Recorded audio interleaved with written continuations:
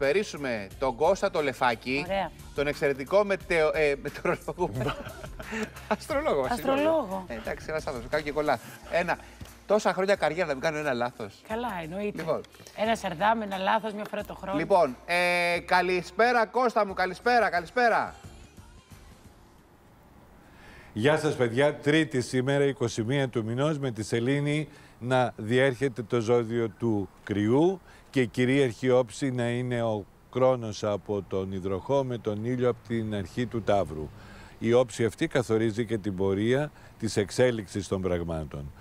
Η Κρυή έχετε μια κουραστική και αγωνιστική ημέρα να υπερασπιστείτε τα θέματα της οικογένειας αλλά και να φροντίσετε έστω και δι' αποστάσεως τα συμφέροντα της εργασίας. Αντικσοότητες δεν θα λείψουν και για κάποια πρακτικά θέματα θα έχετε καθυστερήσεις ή θα δεχτείτε πιέσεις από τις υποχρεώσεις που υπάρχουν για την όσο το δυνατό γρηγορότερη εξόφλησή τους. Συναισθηματικά όμως τα πράγματα είναι λίγο καλύτερα μετά τις πρώτες απογευματινές ώρες.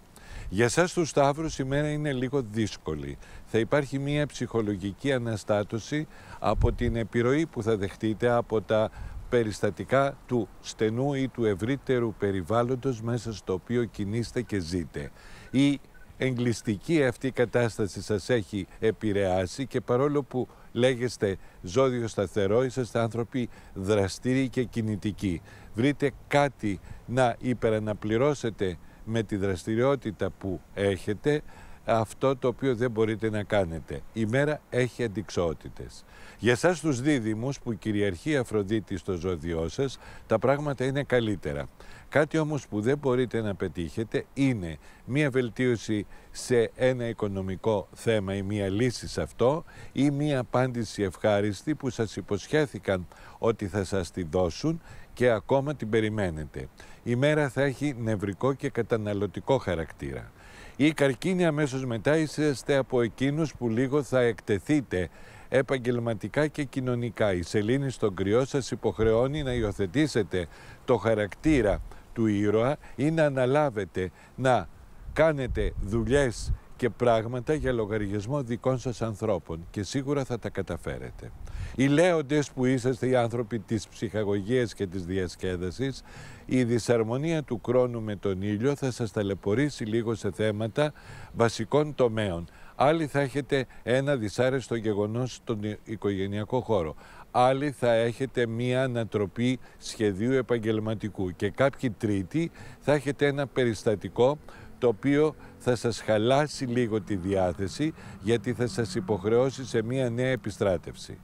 Προχωρώντας στους Παρθένους που είναι πιο συγκαταβατικοί, πιο προσαρμοστικοί και πιο ευπροσίγοροι αυτή την περίοδο, εκείνο που παρατηρούμε είναι μια σταθερή τύχη στον τομέα τον κοινωνικό και τον επαγγελματικό. Είσαστε οι χρήσιμοι άνθρωποι αυτής της περίοδου και όσοι δουλεύετε σε νευραλγικούς χώρους σήμερα θα το αποδείξετε περίτρανα. Συναισθηματικά μην έχετε απαιτήσεις, πρακτικά λίγο θα εξυπηρετηθείτε. Οι ζυγοί που ακολουθείτε είσαστε οι άνθρωποι της επικοινωνίας, της δικαιοσύνης, της αλληλεγγύης. Ψάχνετε να βρείτε την κρυμμένη δεξαμενή της αδελφοσύνης και της αγάπης. Δεν είναι εύκολο να τη βρείτε ακόμα, σύντομα όμως θα την ανακαλύψετε.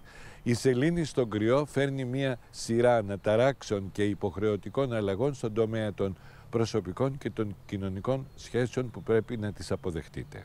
Οι σκορπιοί που είσαστε άνθρωποι περίεργοι, δραστήριοι, σύνθετοι στο χαρακτήρα πολύπλοκοι, αλλά κυρίως αγωνιστές, η δυσαρμονία του χρόνου με τον ήλιο θα σας ταλαιπωρήσει λίγο και θα σας δείξει μια καινούργια πραγματικότητα στην οποία θα περάσετε σύντομα και πρέπει από τώρα να την αποδέχεστε.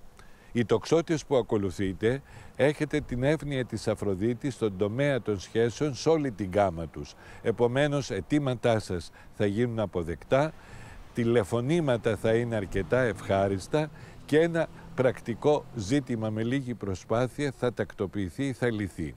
Οι εγώκεροι που κυριαρχείτε σαν πρωταγωνιστές αυτής της εποχής και όλου του έτους 2020 είσαστε εκείνοι που θα αναλάβετε πρόθυμα καινούργιες ευθύνες και θα εστιάσετε την προσοχή σας στο στενό οικογενειακό περιβάλλον όπου και θα τακτοποιήσετε υποθέσεις ή θα βάλετε μια σχετική τάξη στο υπάρχον χάος. Συναισθηματικά μην έχετε απαιτήσεις για σήμερα. Η υδροχόη που κυριαρχεί ο χρόνος προειδοποιητικά στο ζώδιό σας και δεν μπορείτε την κυδαιμονία και τον περιορισμό, θα βρείτε έμεσες λύσεις να καταστήλετε την ψυχολογική σας καταπίεση, ανησυχία, περίεργη διάθεση με την παρουσία ενός ανθρώπου που θα παίξει σημαντικό ρόλο σήμερα, την ε, προσφορά μιας βοήθειας ή κάποια σύμπτωση που θα σας δώσει μια ελπίδα για το επαγγελματικό που μετά τα μέσα Μαΐου θα είναι καλύτερο. Τέλος, οι ηχθείς, οι οποίοι είσαστε οι άνθρωποι της φαντασίας και του οράματος, η μέρα είναι όχι κακή αλλά ούτε και καλή. Θα σας απασχολήσουν οικονομικά ζητήματα και ίσως άθελα κάποιοι άνθρωποι του περιβάλλοντός σας να σας καταπιέσουν. Το ενδεχόμενο να γίνετε θύμα κοινωνικής ή οικονομικής εκμετάλλευσης είναι πολύ πιθανό. Γενικότερα η μέρα θέλει προσοχή. Όλοι θα πρέπει να προσέξουμε για αυτή η δυσαρμονία του ήλιου με τον χρόνο μας υποχρεώνει να προετοιμαστούμε, να δώσουμε πίστοση χρόνο και να μπορούμε να συνεχίσουμε ένα περιορισμό κινήσεων που θα συνεχιστεί. Εύχομαι αντοχή και χαιρετώ όλους εσάς και τους τηλεθεατές σας. Θα τα πούμε πάλι αύριο.